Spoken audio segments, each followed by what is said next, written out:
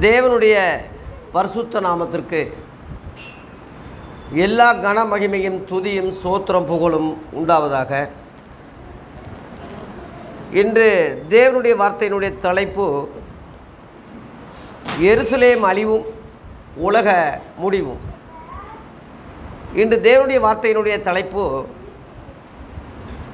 எருசலேம் அழிவும் உலக முடிவும்.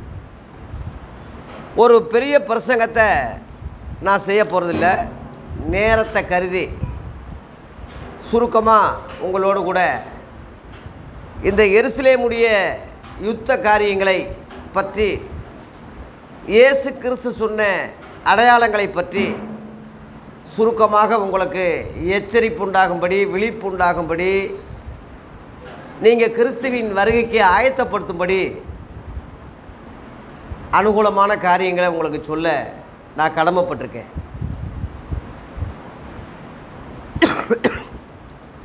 இன்றைக்கு உள்ள பொதுவான மக்களுடைய காரியம் எப்படி சாப்பிட்றது எப்படி கடை அடைக்கிறது எப்படி சம்பாதிக்கிறது எப்படி கல்யாண காரியங்கள் எப்படி வீட்டு காரியம் குடும்ப காரியம் உலக கவலைகள் அஞ்ஞானிகளைப் போல எண்ணத்தை உண்போம் எண்ணத்தை குடிப்போம் எப்படி வாழ்வோம் எப்படி செய்வோம்னு சொல்லி உலக காரியங்களை குறித்தே அதிகமாக கவலைப்படுறாங்க.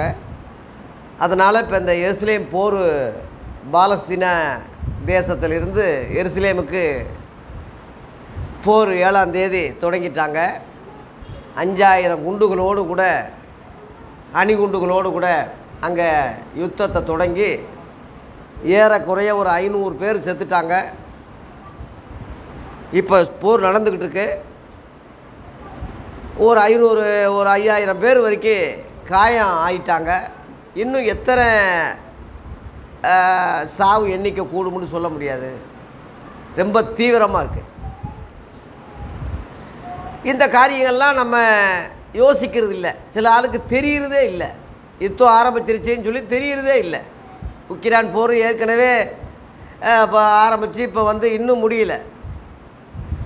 பல இடங்களில் பூமி அதிர்ச்சிகளில் எத்தனையோ பேர் சாகுறாங்க நிலை நடுக்கங்களில்.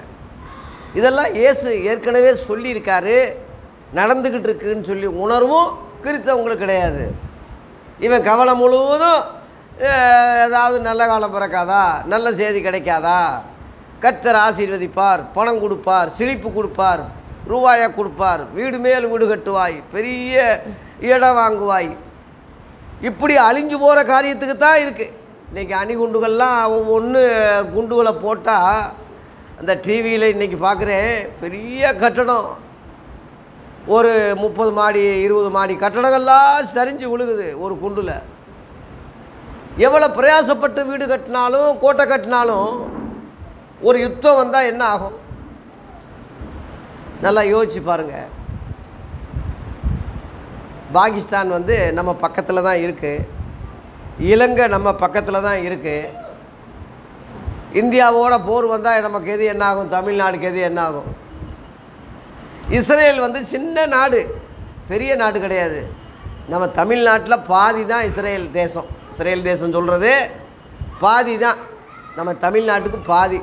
இப்போ மதுரை சென்டர் எடுத்துக்கிட்டால் மதுரையிலிருந்து சென்னையோடு முடியுது தமிழ்நாடு. சென்னை வரைக்குன்னு வச்சுக்கோங்களேன். மதுரையிலிருந்து சென்னை வரைக்கும் இல்லை மதுரையிலிருந்து கன்னியாகுமரி வரைக்கும் எடுத்துக்கோங்களேன். இவ்வளவு தான் இஸ்ரேல் தேசமே. அதான் இஸ்ரேல் என்னும் சிறு பூச்சியேன்னு சொன்னார் அன்னைக்கே.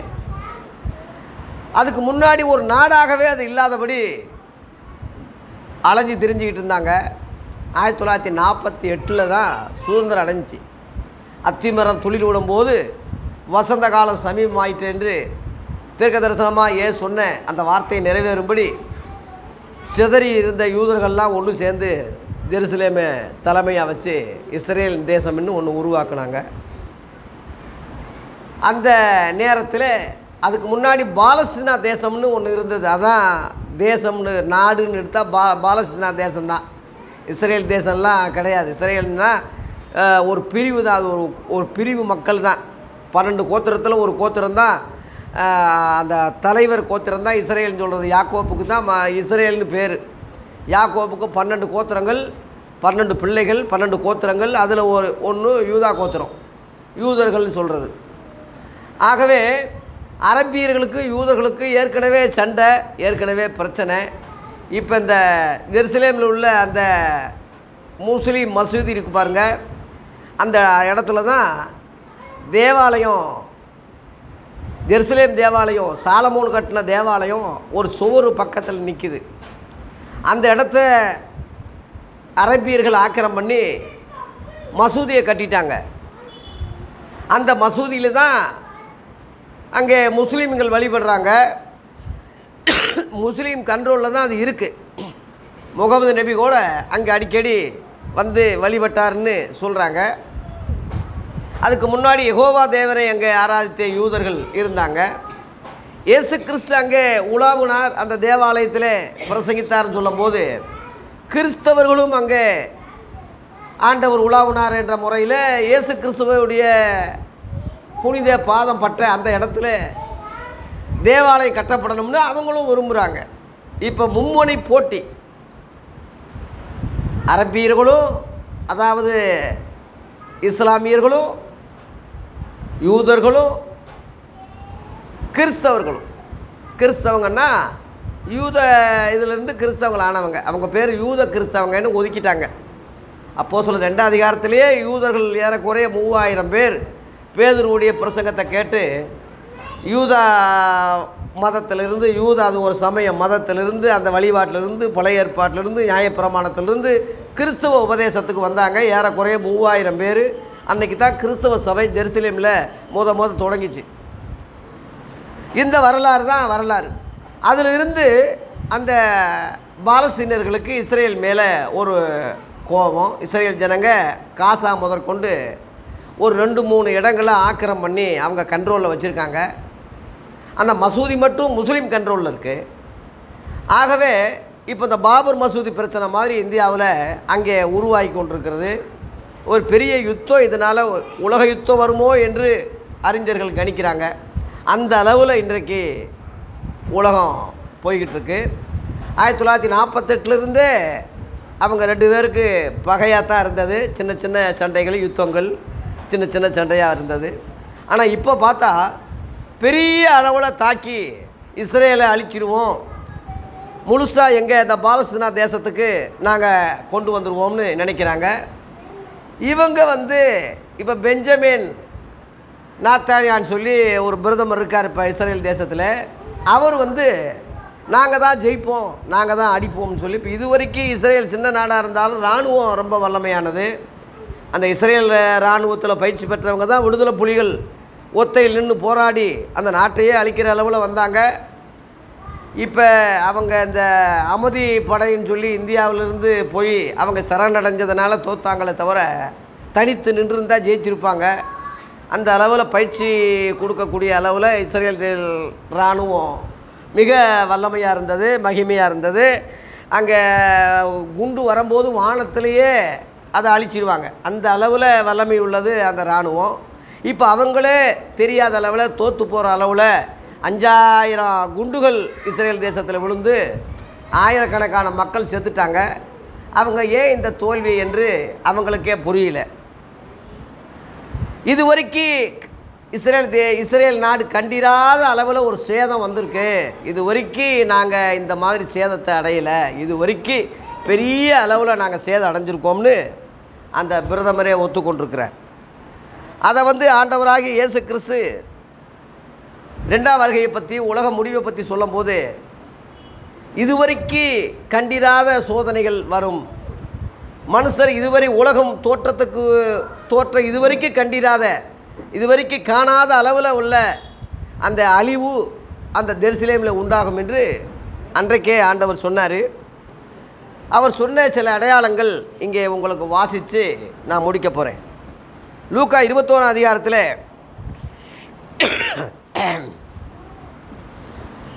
இங்கே ஒன்பதாம் வசனத்திலே யுத்தங்களையும் கலகங்களை குறித்து நீங்கள் கேள்விப்படும் போது பயப்படாதுங்க.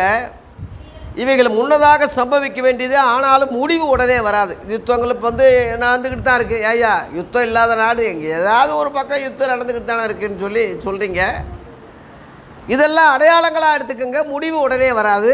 ஆனால் வரும். முடிவுன்னு சொல்லும் போது ஒன்று வரும். இங்கே என்ன போட்டிருக்குன்னா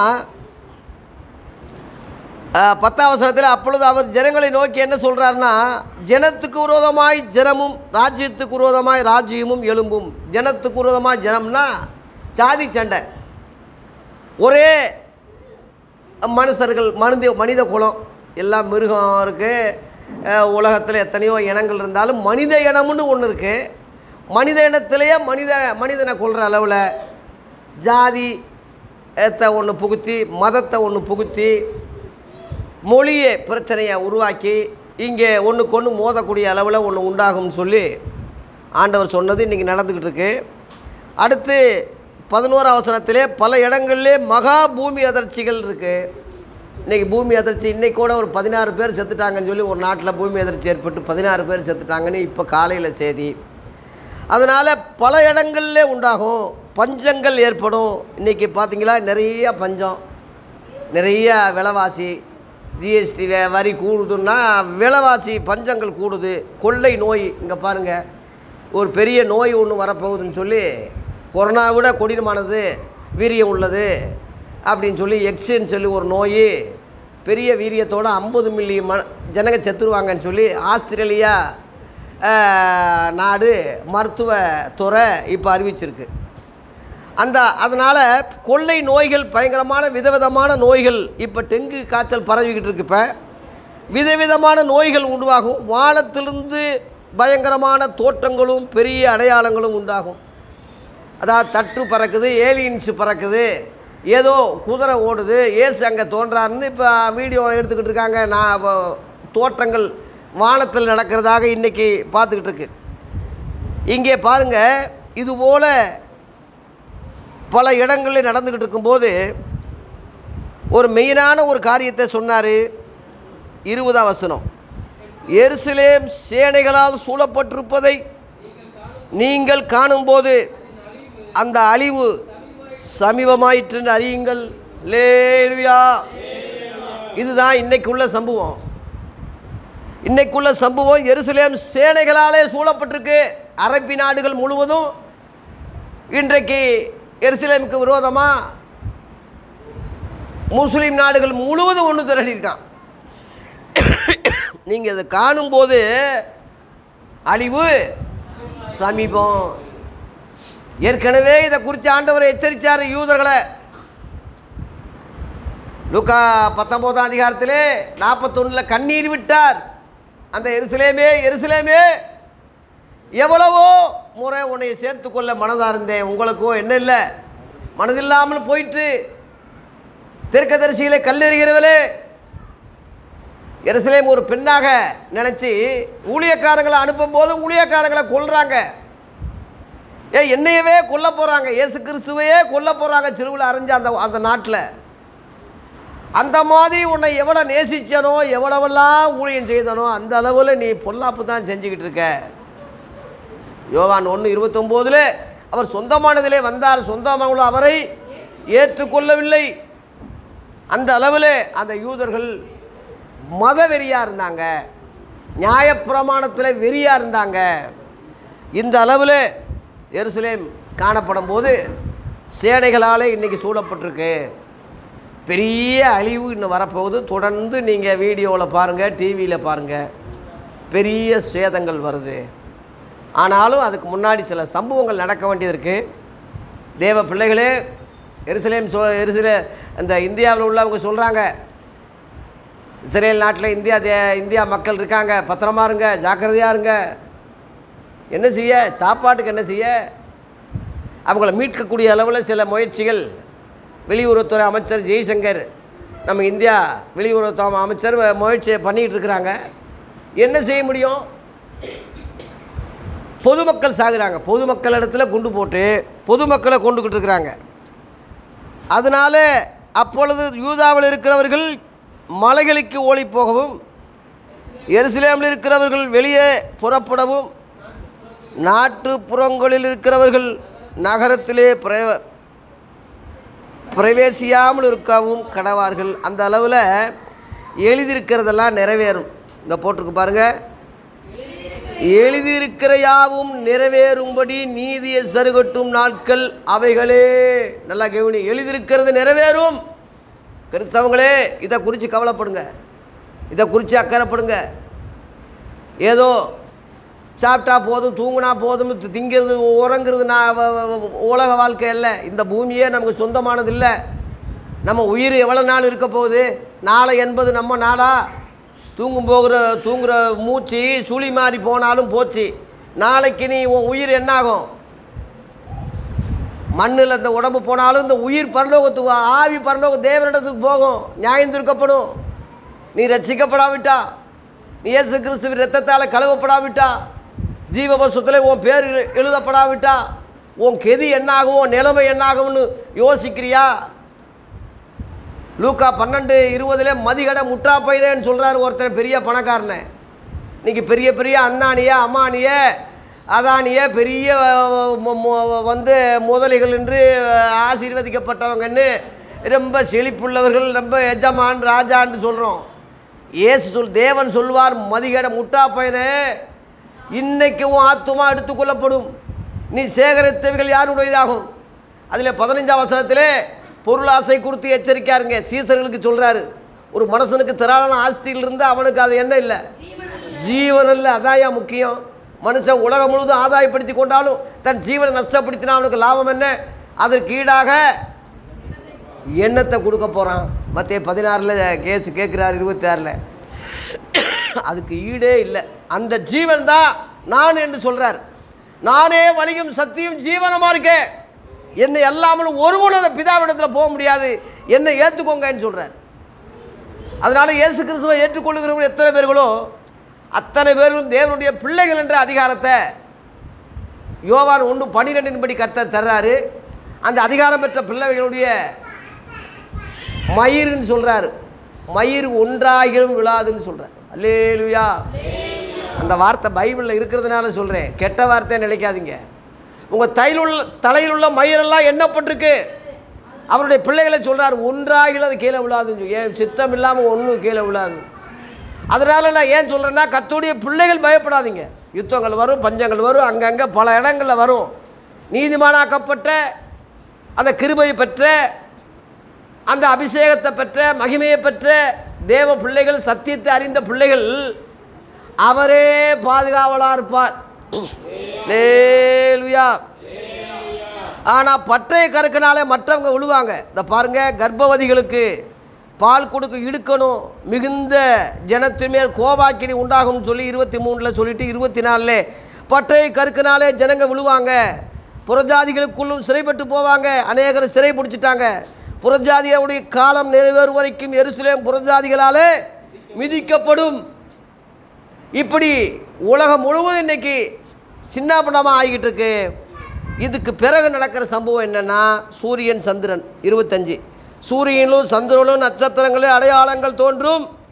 பூமியின் மேல் உள்ள ஜனங்களுக்கு என்ன உண்டாகும்? தத்தளிப்பு உண்டாகும் இடுக்கணம் உண்டாகும் சமுத்திர அலைகளும் பெரிய சுனாமி இன்னும் பெரிய சுனாமி வரப்போகுது. அந்த அலைகள்னு சொல்கிறது சுனாமி. இதுபோல் பல காரியங்கள் இன்றைக்கு சூரியனில் போய் மோத போகிறேன்னு சொல்லி போய்கிட்டு இருக்கிறான் நம்ம இந்தியாவில். சந்திரனில் போய் ஏதோ ஓட்டை போட்டானா. சூரியனுடைய மே சுற்றி ஒரு திரை இருக்கும். அந்த திரை கிழிஞ்சிருச்சான் இப்போ. அதனால தான் உஷ்ணம் அதிகமாக பூமியை தாக்குது. இது போன்ற சில அபாயங்கள் சில விஷயங்கள் இன்றைக்கு உலகம் முழுவதும் உள்ள மக்களுக்கு அது தெரியாமல் இருந்தாலும் ரெண்டாயிரம் வருஷத்துக்கு முன்னாடி தீர்க்க தரிசனமாக ஏன் சொன்னார்?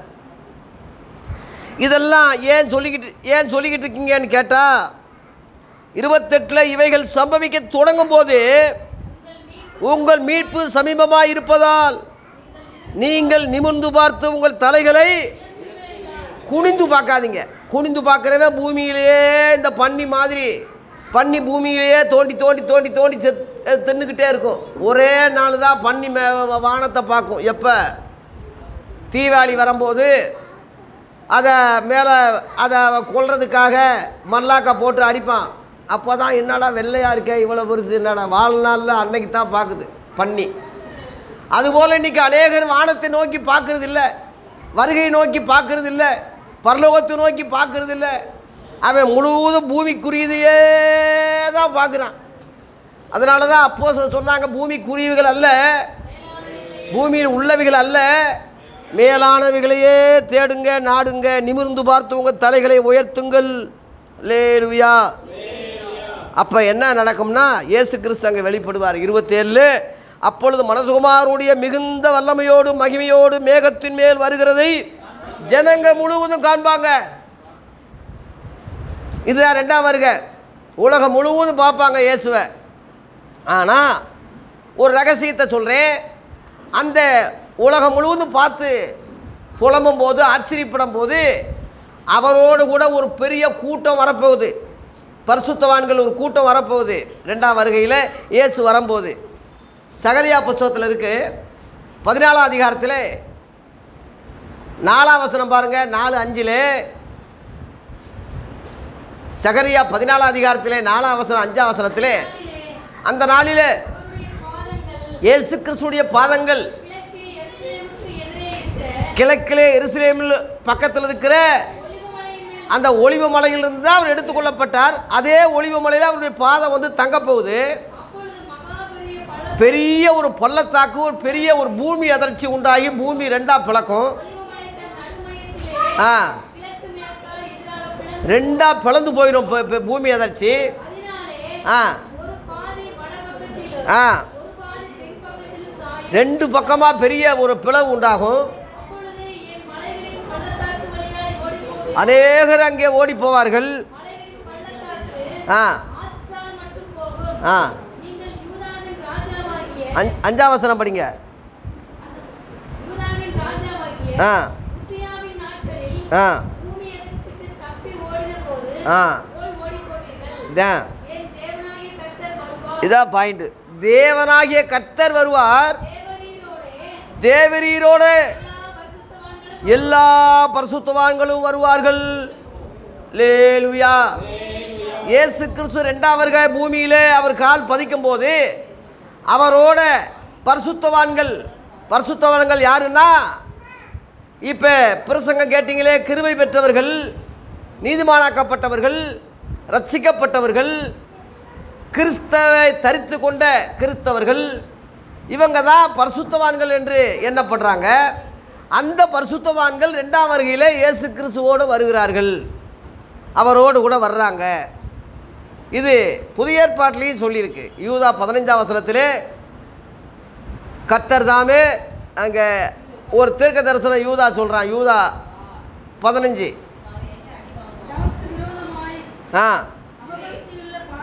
ஆ. ஆ. கண்டிக்கிறதுக்கு தண்டிக்கிறதுக்கு ஆயிரம் ஆயிரமான பரிசுத்தவான்களோடு கூட கர்த்தர் வருகிறார் என்று ஏனோக்கு சொன்னதை இந்த யூதா முன் அறிவிச்சான். அந்த ஆயிரம் ஆயிரம் பரிசுத்தவான்கள் யார்? எப்படி போனாங்க? என்று கேட்டால் அதுக்கு பேர் தான் ரகசிய வருகைன்னு சொல்கிறோம் முதல் வருகைக்கு இரண்டாம் வருகைக்கு நடுவில் நடக்கிற சம்பவம் ரகசிய வருகை. இந்த ரகசிய வருகை பற்றி இயேசு சொன்னதை சொல்லிட்டு நான் முடிக்கிறேன். லூக்கா இருபத்தொன்னுல.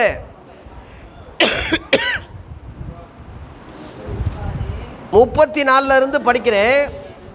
உங்கள் இருதயங்கள் பெருந்துண்டினாலும் வெறியினாலும் லௌகிக கவலையினாலும் உங்கள் இருதயம் பாரம் அடைகிறதுக்கு ஹார்ட் அட்டாக் வர்றதுக்கு காரணம் இதுதான். ஒரு அதிர்ச்சி ஒரு குழப்பம் ஒரு பேராபத்து ஒரு சாதாரண விஷயத்துக்காக பெரிய கவலைப்படுறது. உப்பில்லாத ஒரு சாதாரண ஒரு சின்ன விஷயத்துக்கு தற்கொலை பண்ணிட்டு தூக்கில் தொங்குறது. எவ்வளோ கேவலமான காரியம். சாதாரண விஷயத்துக்கு மருந்தை குடிச்சு சாகுறான் துருக்கு தூக்கில் தொங்குறான். இவையெல்லாம் ஒன்றும் இல்லை பரலோகம்தான் முக்கியம். அதை இழந்துடாத அதை இழக்கக்கூடிய ஒரு சூழ்நிலை தான் உனக்கு ஆபத்தே தவிர கஷ்டமே தவிர துன்பமே தவிர இடுக்கமே தவிர அதிர்ச்சியே தவிர. இந்த பூலோகத்தில் என்ன நடந்தாலும் அதை பற்றி நீ கவலைப்படவே கூடாது. இங்கே போட்டிருக்கு பாரமடையும் லௌகிக உலக கவலை. ஆனால் அதெல்லாம் நீங்கள் அடையக்கூடாதுன்னு கிறிஸ்தவங்களை எச்சரிக்கிறாரு. நீங்கள் நினையாத நேரத்தில் அந்த நாள் உங்கள் மேல் வராதபடி எச்சரிக்காருங்கன்னு சொல்கிறாரு பூமி எங்கும் குடியிருக்கிற அனைவர் மேலும் அது கண்ணியை போல வரும்னு சொல்லி முப்பத்தஞ்சில் சொல்கிறாரு முப்பத்தாறில் நமக்கு கடைசியில் என்ன சொல்கிறாருன்னா ஆகையால் இனி சம்பவிக்க போகிற இவைகளுக்கெல்லாம் தப்பி என்ற வார்த்தையை அங்கே இருக்கு குறிச்சிக்கோங்க. தப்பி இதுக்கெல்லாம் நீங்கள் தப்பி இயேசு கிறிஸ்துக்கு முன்னாடி நிற்க பாத்திரவங்களாம் என்னப்படுவதற்கு எப்பொழுதும் ஜெபம் பண்ணி விழித்திருங்கன்னு சொல்கிறது தான் எச்சரிப்பு எருசலேமில் ஒரு சண்டை நடந்த யுத்தங்கள் சூழ்ந்த உடனே டக்குன்னு விழிக்கிறோம். டக்குன்னு எச்சரிக்கிறோம். டக்குன்னு நம்ம அதை பற்றி பேசுகிறோம் இதுதான் விழிப்புன்னு சொல்கிறது கண்ணை திறந்து பார்க்குறது இல்லை. இந்த இதுக்கு பேர் தான் விழிப்புணர்வுன்னு சொல்கிறது இதை வந்து நீங்கள் தப்பி அங்கே ஒரு புள்ளி வச்சுருக்கு. இதுக்கெல்லாம் நீங்கள் தப்புறதுக்கு ஒரே வழி ரகசிய வருக ஒரு இமை பொழுதிலே ஒருவன் எடுத்துக்கொள்ளப்படுவான் ஒருவன் கைவிடப்படுவான். ஒரே ராத்திரியில் ரெண்டு பேர் படுத்திருப்பாங்க. ஒருவன் எடுத்துக்கொள்ளப்படுவான். இந்த ரெண்டு பேர் ஒன்றை ஒரே பெட்டில் படுத்திருக்காங்கன்னா அவங்க ரெண்டு பேருக்குள்ளே எவ்வளோ ஒற்றுமை இருக்குது கவனிங்க ஒற்றுமை இல்லாட்டினா படுப்பாங்களா? அங்கே புருஷ மனைவி படுப்பாங்கன்னு அங்கே சொல்லலை. இரண்டு பேர் படுத்திருப்பாங்க. ஒருவன் ரெண்டு ஆம்பளை தான். ரெண்டு ஆம்பளை ப படுத்திருக்காங்கன்னா ரெண்டு பேர் நல்லா புரண்டாக இருக்கணும். நண்பர்களாக இருக்கணும். அல்லது சகோதரர்களாக இருக்கணும். ஒன்றுக்கு ஒன்று இசைவாக இருந்தால் தான் படுக்க முடியும். ஒன்றுக்கு ஒன்று எண்ணங்கள் ஒத்து இருந்தால் தான் படிக்க முடியும். அப்படி ஒன்றுக்கு ஒன்று விசுவாசி நல்ல ஆவிக்குரிய வகையில் ரெண்டு பேர் இருந்தால் தான் படுக்க முடியும். அப்படிப்பட்டவங்கள ஒருத்தனை தான் எடுத்துக்கொள்வார் ஒருத்தனை கைவிடுவாருன்னு இருக்கு. இப்போ இந்த சபையில் எல்லாரும் ஒற்றுமையாக இருக்கீங்க. அதில் ஒருத்தரை தான் கருத்தர் எடுக்கிறாருன்னா அந்த ஒருத்தன் எந்த அளவில் இருந்திருக்கணும்? இன்னொருத்தன் பேரளவில் இருந்திருக்கணும். ஒருத்தன் ஒரிஜினலாக இருந்திருக்கணும். அந்த அர்த்தம் தான் அது. அப்போ தேவன் பார்க்குற பார்வை வேறு. இப்போ நம்ம வந்து மெய்யான ஒளி தேவ சபையில் இத்தனை விசுவாசிகள் இருக்காங்கன்னு பெருமையாக நம்ம சொல்கிறோம் இத்தனை பேர் உட்காந்துருக்காங்கன்னு சொல்கிறோம் அவர் எந்த விசுவாசியை பார்க்குறார் என்பது தானே அவர் பார்வைக்கு நீ எப்படி இருக்கிறா என்பது தானே முக்கியம். இப்போ நான் உங்களுக்கு முன்னாடி பாஸ்டராக இருக்கேன். அவர் என் மேலே எப்படி இருக்கார் என்பது அவருக்கு தான் தெரியும். எனக்கு தெரியாது. நான் அதை குறித்து நான் கவலைப்படணும் ஜாக்கிரதையாக இருக்கணும் எச்சரிக்கையாக இருக்கணும். நீங்கள் எல்லாரும் அலேலியா சொல்கிறதுனால கை வ- தோத்தரையான்னு சொல்கிறதுனால நான் பரலோகத்துக்கு போயிடுவேன்னு சொல்ல முடியாது.